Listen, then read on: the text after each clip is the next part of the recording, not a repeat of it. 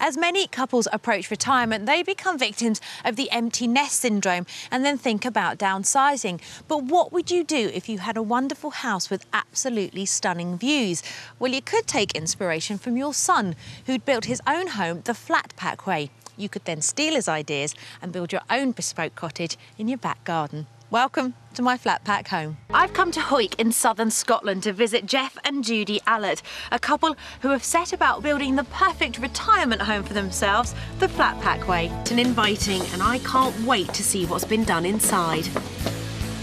It is gorgeous. Can I come on in? Thank you. New home. Are you chuffed with it? Absolutely. Absolutely. Yeah, No. we love Over it. the moon. Good. Over Yeah. the moon. Good, Yeah. because everywhere I look, Sun comes up, that's where it goes down. Mm-hmm.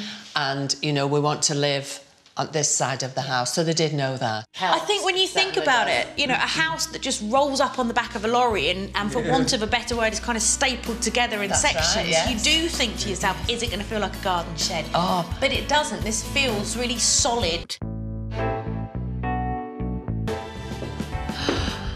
Well, you won't need a TV in here. So now it's finished and you're in here. Has it lived up to expectations?